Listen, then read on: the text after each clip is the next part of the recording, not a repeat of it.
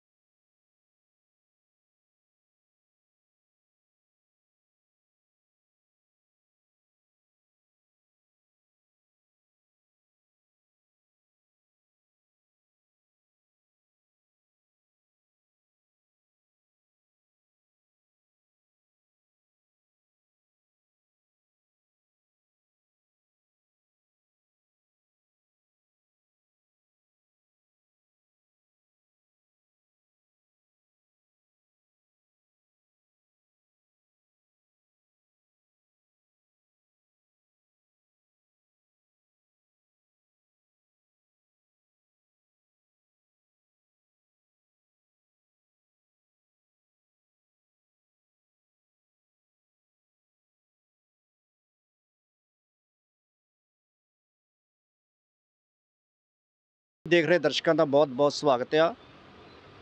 ਅਸੀਂ ਆਪਣੇ summer news channel ਦੇ ਜ਼ਰੀਏ ਅੱਗੇ ਵੀ ਤੁਹਾਨੂੰ ਪੰਜਾਬ ਦੇ ਵੱਖ-ਵੱਖ ਹੁਨਰ ਵਾਲੇ ਜਿਹੜੇ ਹੁਨਰਮੰਦ ਲੋਕਾਂ ਨਾਲ ਮਿਲਾਉਂਦੇ ਆ ਰਹੇ ਆ, ਜਿਨ੍ਹਾਂ ਦੇ ਵਿੱਚ ਬਹੁਤ ਸਾਰਾ ਟੈਲੈਂਟ ਆ।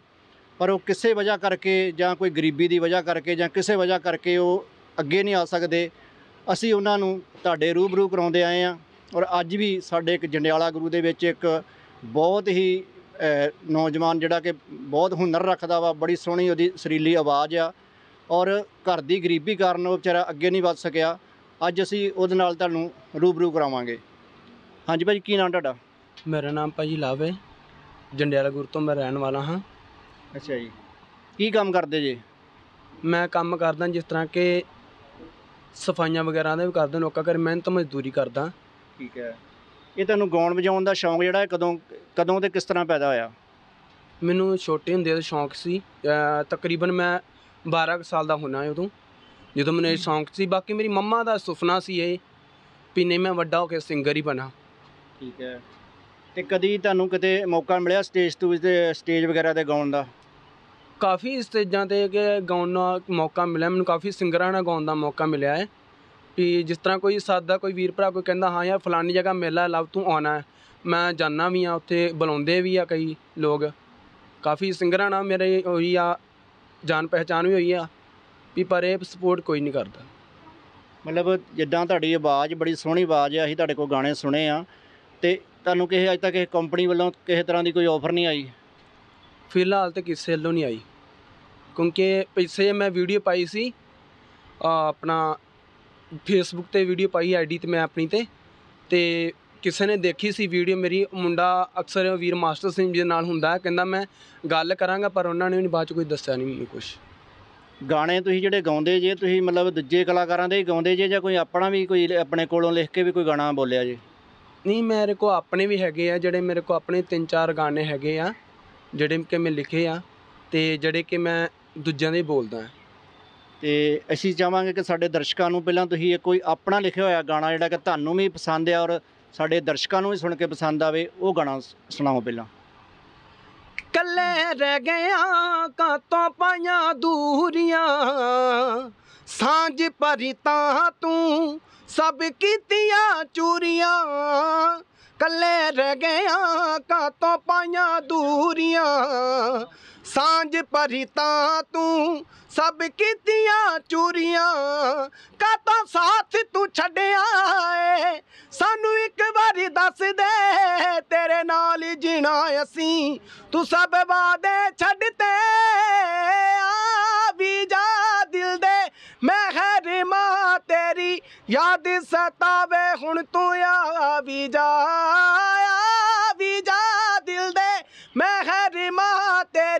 ਯਾਦ ਸਤਾਵੇ, ਹੁਣ ਤੂੰ ਆ ਵੀ ਜਾ।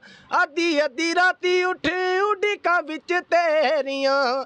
ਅੱਖੀਆਂ ਵਿਛਾਉਂਦੇ ਰਾਹਾਂ, ਤੱਕਦੇ ਸੀ ਤੇਰੀਆਂ। ਕਾਤੋਂ ਲਾਭ ਨੂੰ ਛੱਡਿਆ ਏ? ਸਾਨੂੰ ਇੱਕ ਵਾਰੀ ਦੱਸ ਦੇ, ਤੇਰੇ ਨਾਲ ਹੀ ਜਿਣਾ ਅਸੀਂ। ਤੂੰ ਸਭ ਵਾਦੇ ਛੱਡਤੇ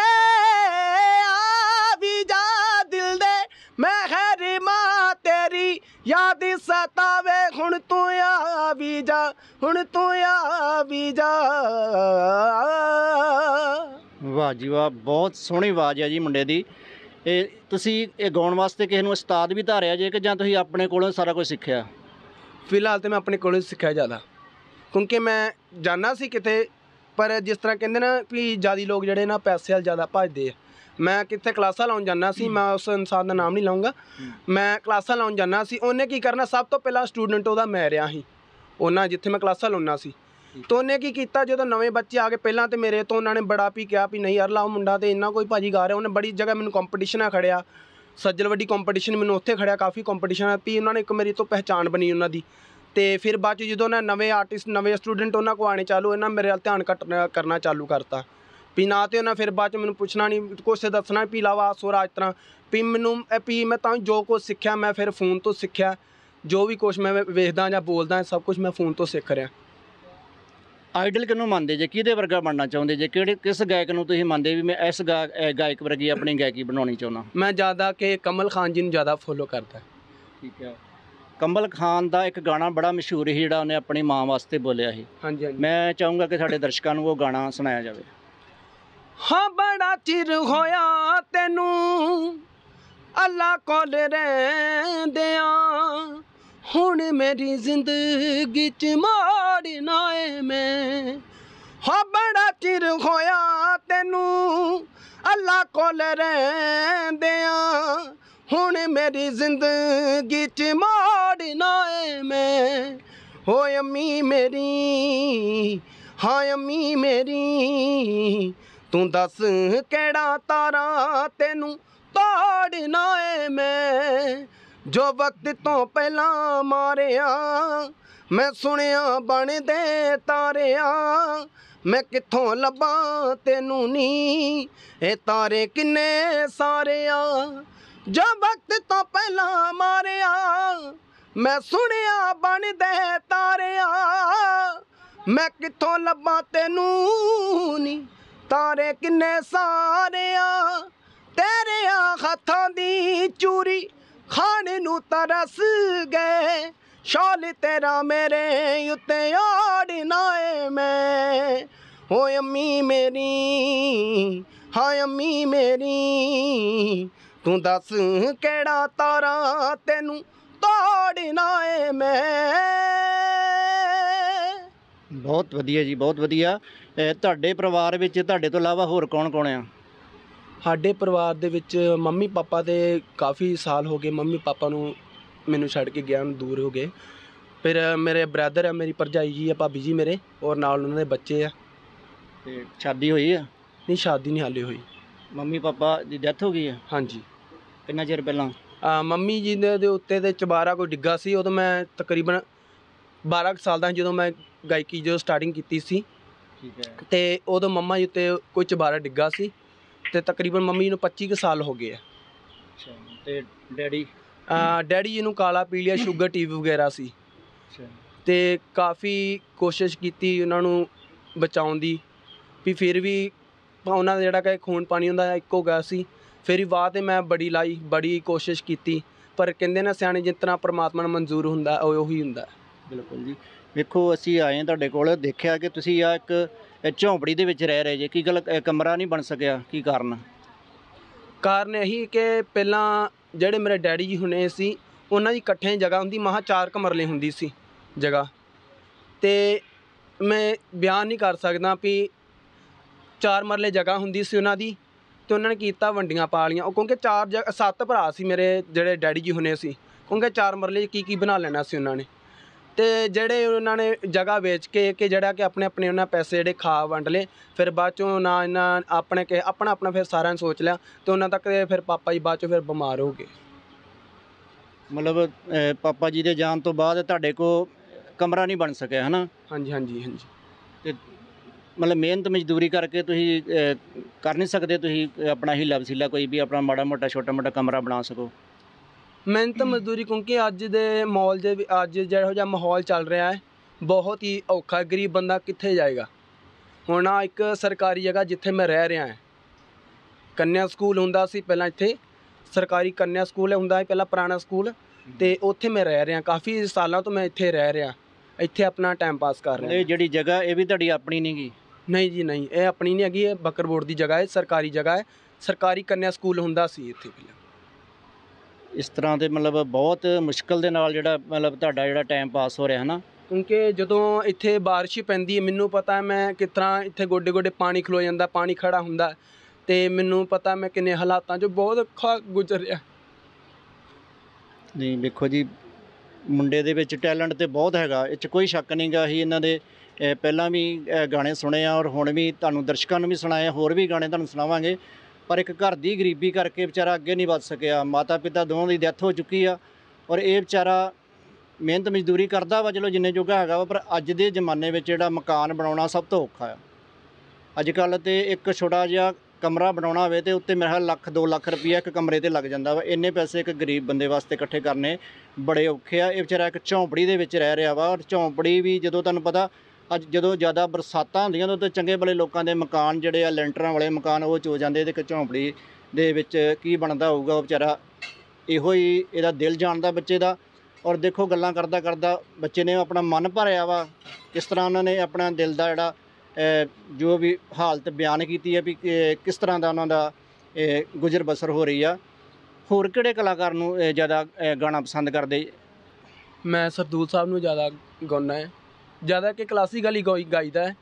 ਸੋ ਜ਼ਿਆਦਾ ਮੈਂ ਜਿਸ ਤਰ੍ਹਾਂ ਕਿ ਆਪਣਾ ਸਰਦੂਲ ਸਾਹਿਬ ਜੀ ਉਹਨਾਂ ਨੂੰ ਕਰਦਾ ਉਹਨਾਂ ਨੂੰ ਹੀ ਇਹ ਚੀਜ਼ਾਂ ਗਾਈਦੀਆਂ ਹੈ।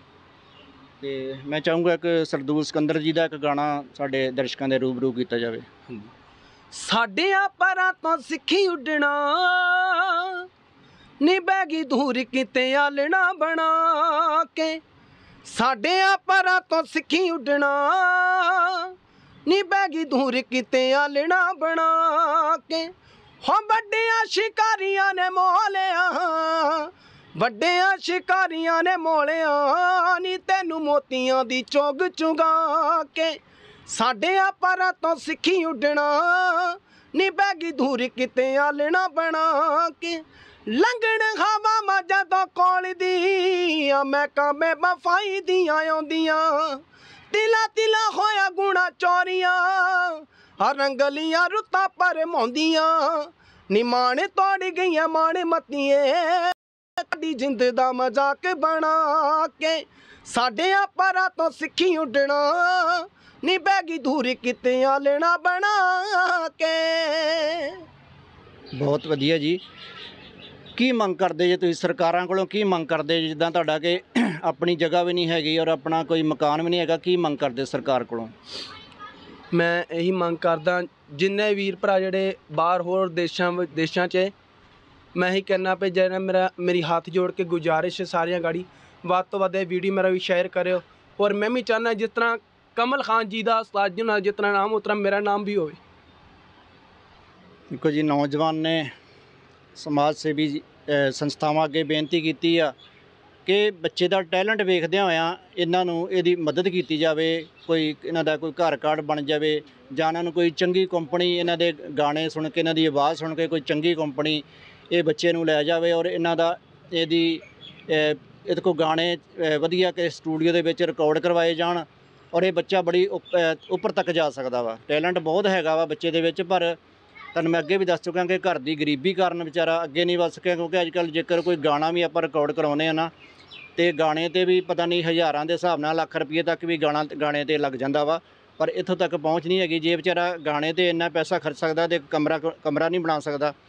ਇਸ ਕਰਕੇ ਇਹਨੇ ਸਰਕਾਰ ਗੁੜ, ਸਰਕਾਰ ਅੱਗੇ ਔਰ ਸਮਾਜ ਸੇਵੀ ਸੰਸਥਾਵਾਂ ਅੱਗੇ ਇਹੋ ਹੀ ਗਹਾਰ ਲਗਾਈ ਆ ਕਿ ਇਹਦਾ ਬੱਚੇ ਦਾ ਕੁਛ ਨਾ ਕੁਛ ਹੈਲਪ ਕੀਤੀ ਜਾਵੇ ਤਾਂ ਜੋ ਇਹ ਆਪਣੇ ਕਿਸੇ ਚੰਗੇ ਮਕਾਮ ਤੇ ਪਹੁੰਚ ਸਕੇ। ਮੈਂ ਜਨੇਲਾ ਗੁਰੂ ਤੋਂ ਜਸਪਾਲ ਸ਼ਰਮਾ।